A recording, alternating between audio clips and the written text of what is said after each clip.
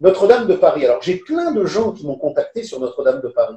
Alors, euh, avant de parler de Notre-Dame de Paris, rappelons-nous, rappelons-nous, dans le mouvement des Gilets jaunes, en relation avec le livre 1 du Capital de Marx et, les commentaires sur la société du spectacle de Debord, de, cet attentat abominable sur les boîtes aux lettres de la mairie du 13e arrondissement qui avait effectivement atteint la dignité esthétique de deux boîtes aux lettres sur laquelle il y avait le portrait de Simone Veil. Et où en est l'enquête?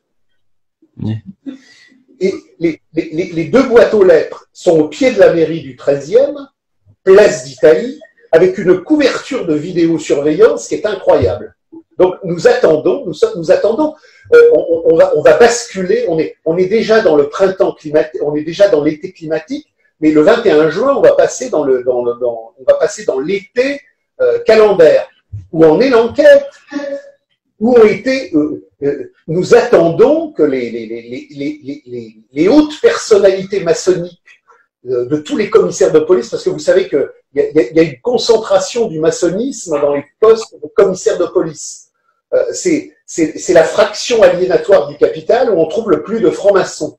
Donc nous attendons, nous attendons que dans une assemblée professionnelle ou maçonnique, tous ces commissaires de France viennent nous expliquer, voilà, nous avons bien analysé les vidéos, voilà les coupables. Non, on n'a toujours pas de réponse. Et alors, Notre-Dame de Paris, c'était génial, parce que je ne sais pas si vous avez, si vous avez écouté euh, les, commentaires, euh, les commentaires de Monsieur Mouton, puis ensuite les commentaires de Monsieur Villeneuve. Monsieur Mouton et Monsieur Villeneuve ont travaillé pendant plusieurs décennies euh, au niveau du, du, contrôle et de la sécurité euh, de Notre-Dame de Paris. Et euh, ils disent, mais alors, ils, font gaffe, euh, quand Mouton est interviewé par Pujadas, il dit pas, c'est pas possible, il y a une magouille. Il dit, c'est pas possible, point. Mais tout le monde comprend bien qu'un bois ancestral avec des coupes d'une profondeur incroyable ne peut pas prendre feu. Hmm. Tout le monde, tous les gens. Et alors, on en revient, on en revient à la loi Fabius-Guesson, on en revient à Nuremberg, on en revient, on parlera tout à l'heure de, de l'obligation climatologique bobo du capitalisme vert, à tous les mensonges sans débat. Marx nous a appris en 1842, dans un texte fantastique sur la censure, que dès lors qu'il n'y a pas de débat contradictoire, le mensonge impérialiste est avéré avant même, avant même que les premiers enquêteurs de la préfecture rentrent examiner euh, les résidus carbonisés de Notre-Dame de Paris, on a une proclamation idéologique du fétichisme de la marchandise par la voix de son larbin étatique ministériel qui nous dit ça ne peut être qu'un incident. Il n'y a pas eu d'enquête, mais ça ne peut être qu'un incident. Monsieur Mouton disparaît des écrans, puis Monsieur Villeneuve disparaît des écrans, et le ministère de la Culture interdit à toutes les personnes qui ont travaillé sur Notre-Dame de Paris de faire communication directe, puisque tout doit passer par le Big Brother du ministère de la Vérité. Donc, c'est fini, il n'y a plus d'enquête sur Notre-Dame de Paris, c'est absurde, ça ne tient pas la route, mais il n'y aura pas de débat. Il n'y aura pas de débat. Alors après, après, alors vous avez toute une série euh, de, paradigmes, mais qui nous renvoient euh, au développement historique et dialectique de ce qu'est l'en soi, le pour soi et le revenir à soi.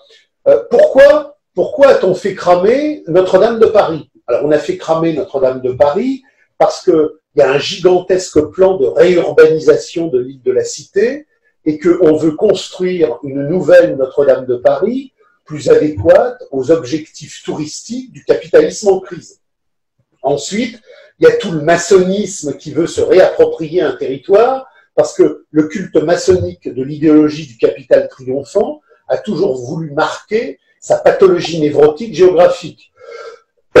L'arche de la défense, euh, euh, la pyramide du Louvre, bon, mais tout ça c'est accessoire, ça doit être synthétisé dialectiquement dans la crise du capital dans le moment donné. C'est-à-dire que Notre-Dame de Paris crame au moment où la crise des Gilets jaunes rend nécessaire un vaste moment symbolique qui exprime justement la diversion.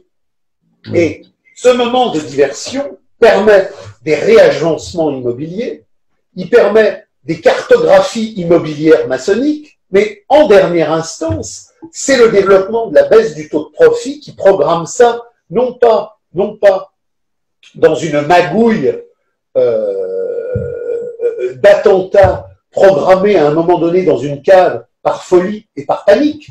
C'est le hiéroglyphe du capital qui, dans son mouvement déterminisme, impose euh, de la même manière que l'effondrement des tours du 11 septembre, c'est pas un clic complotiste des services, c'est le développement de la manipulation, du fétichisme de la marchandise et de son secret. Donc, Notre-Dame de Paris, euh, rentabilisation immobilière, magouille des architectes, euh, nécessité, entre guillemets, euh, talmudico-maçonnique d'imprimer au territoire euh, des formations symboliques de nouvelles constructions. Oui, mais tout ça, en dernière instance, programmé par le devenir de la crise capitaliste, du fétichisme de la marchandise et de son secret. Donc Notre-Dame de Paris, par rapport à la lutte des classes, par rapport aux Gilets jaunes, a cramé dans un attentat étatique, puisque si je lis Marx, le livre 1, et que je lis effectivement de bord les commentaires sur la société du spectacle, et que je fais référence aux déclarations de Mouton